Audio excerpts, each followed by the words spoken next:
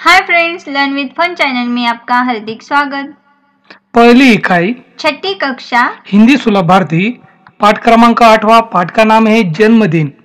जन्मदिन इस पाठ में पृष्ठ क्रमांक 19 से लेकर 22 तक जो भी सवाल आए उन सभी सवालों के जवाब हम आज के वीडियो में लेने वाले। चलो तो शुरू करते हैं। इस पाठ में आए सभी सवालों के जवाब। पाठ के शुरू में हमें दिया है। मैं कौन हूँ? सूचना निर्देश आदेश अनुरोध विनती के वाक्य विराम चिन्ह सहित पढ़ो। आपको वाक्य पढ़ने और समझने आपको कौन सा वाक्य सूचना का है कौन सा वाक्य निर्देश का है कौन सा वाक्य आदेश का है ये आपको समझना भी। यहाँ पर एक नंबर दिया है बगीचे के फल फूल तोड़ना मना है ये वाक्य सूचना है। जैसे फल सब्ज़ी लेकर घर आओ ये वाक्य निर्देश है।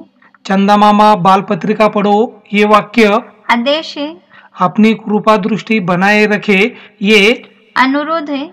और पाँच नंबर दिया है बच्चों ने कहा कृपया हमें अंतरिक्ष के बारे में बताइए। तो ये वाक्य विनती है। पाठ में आगे हमें जरा सोचो। कार्टून बनाओ। यदि पानी की टूटी बोलने लगी अगर पानी की टूटी बोलने लगी तो आपको ये सोचना है इसका कार्टून बनाना है और आपको ये लिखना है कि टूटी बोलने लगी तो क्या होगा। यहाँ पर मैंने नमूना दिया है यदि पानी की टूटी बोलने लगी तो बहुत हद तक पानी की बचत होने लगेगी। अक्सर लोग पानी की टूटी खुली छोड़ देते। यही नहीं, मुँह धोते समय भी टूटी खुली होती है और ब्रश करते रहते। नल यही कहेगा कि पानी खत्म होने के बाद टूटी को बंद कर दे।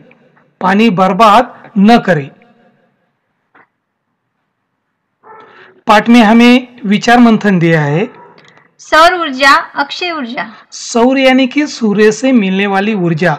सूर्य से मिलने वाली ऊर्जा, ये अक्षय न समाप्त होने वाली ऊर्जा है। ये आपको यहाँ पर विचार लिखने तो इस सवाल का जवाब है, सौर ऊर्जा अर्थात सूर्य से निकलने वाली ऊर्जा अक्षय है। सूर्य में अनंत ऊर्जा है और वह समाप्त होने वाली नहीं है।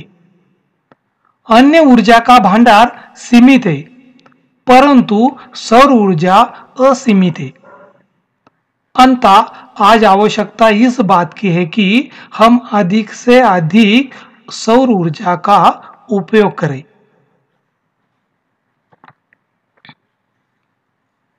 मैंने समझा। इस में से मैंने समझा। हमें पानी को बेवजह बर्बाद नहीं करना चाहिए। पानी का प्रयोग सोच समझकर करना चाहिए। जब आवश्यकता न हो तो बिजली के उपकरण जैसे कूल एसी बल्ब आदि को बंद कर देना चाहिए। पानी और बिजली दोनों के भंडार सीमित है। इसी के आगे हमें भाषा की ओर शब्द युग्मों की जोड़ियाँ मिलाओ।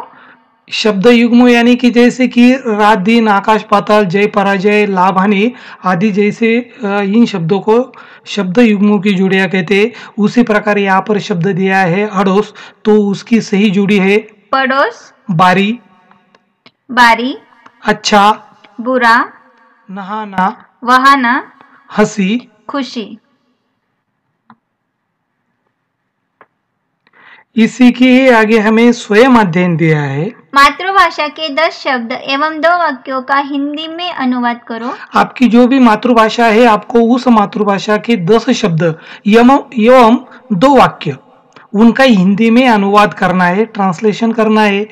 यहाँ पर मातृभाषा यानी कि मराठी के दस शब्द दिए। मुलगी हिंदी में उसको कहते हैं। लड़की मुलगा लड़का घड्याळ घड़ी झाड पेड़ आंबा आम फणस कटल ससा खरगोश ढग बादल खटारा बैलगाड़ी गवत घास सुनो तो जरा। ध्वनि फीति सीढ़ी पर कोई लोकगीत सुनो।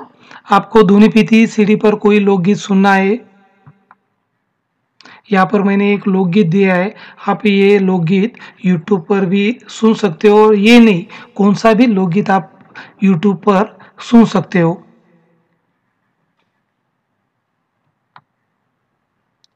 बताओ तो सही। तुम अपनी छोटी बहन छोटे भाई के लिए क्या करते हो?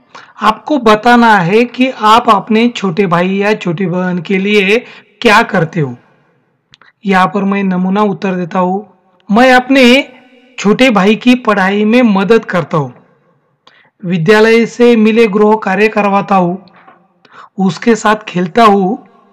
चित्रकला एवं कार्यों में उसकी मदत करता हूँ। व्हिडिओ आवडला असेल तर लाईक या बटनावर क्लिक करा आणि तुमच्या मित्रमैत्रिणींना हा व्हिडिओ शेअर करा.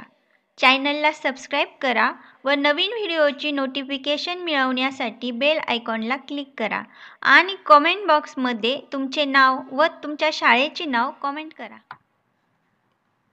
इसी के आगे वाचन जगत से। Doctor A P Abdul Kalam की आत्मकथा का अंश पढ़कर चर्चा करो। यहाँ पर उनकी आत्मकथा का अंश दिया है। आपको ये कथा पढ़नी है और इसके ऊपर आपकी सहपाठियों के साथ आपको चर्चा भी करनी है।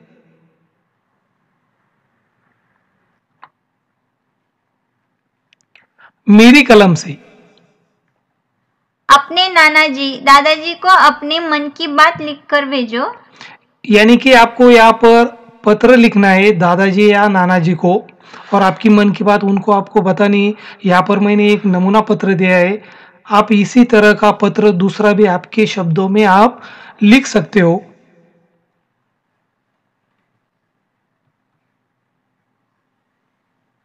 इसी के आगे हमें दो तीन वाक्य में उत्तर लिखने के लिए कहा गया है। इसमें हमें चार सवाल दिए। हैं उसमें से एक नंबर का सवाल है।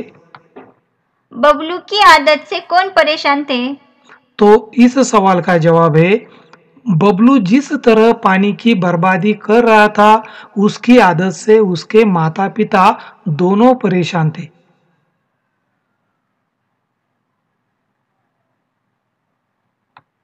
इसी के आगे हमें दो नंबर का सवाल दिया है। शीला मौसी ने बिजली की कटौती का क्या कारण बताया? तो इस सवाल का जवाब है, गर्मी बढ़ जाने से बाहर तमाम जगहों पर बिजली का भार बढ़ गया है। इसलिए अब बिजली की कटौती होना शुरू हो गया है। ऐसा शिला मौसी ने बिजली की कटौती का कारण बताया। तीन नंबर है प्यास के कारण बबलू की स्थिति कैसी बनी थी? तो इस सवाल का जवाब है प्यास के कारण बबलू बेचैन हो उठा। वह पानी पानी चिल्लाने लगा। प्यास से उसका गला सूख जा रहा था। खाने का एक और भी गले से नीचे नहीं उतर रहा था।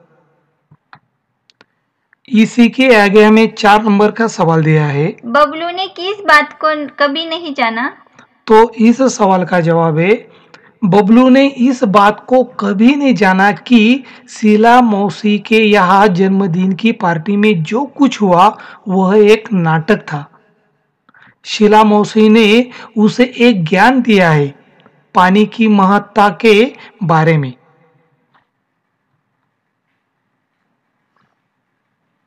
अध्ययन कौशल्य।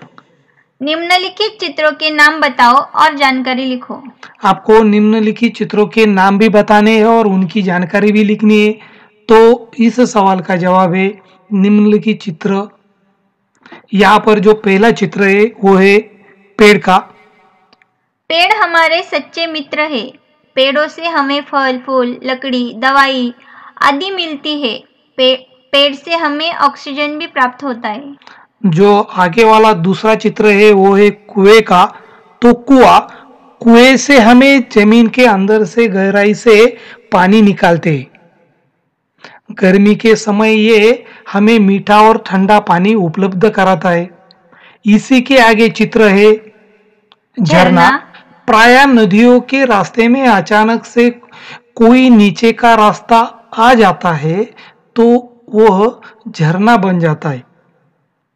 इसी के आगे चित्र है। बादल। बादल हमें वर्षा के लिए पानी देते। बादल न हो तो वर्षा भी न होगी। और लास्ट में जो चित्र है वो है नदी। पहाड़ों से पानी लेकर नदी मैदानों में आती है। चलो तो दोस्तों मिलते हैं अगले स्वाध्याय में। तब तक बाय टेक केअर चॅनलला सबस्क्राईब केलं नसेल तर सबस्क्राईब या बटनावर क्लिक करा. व्हिडिओ आवडला असेल तर लाईक या बटनावर क्लिक करा. आणि तुमच्या मित्रांना शेअर करा. चला तर विद्यार्थी मित्रांनो भेटूया पुढच्या स्वाध्यायामध्ये तोपर्यंत बाय टेक केअर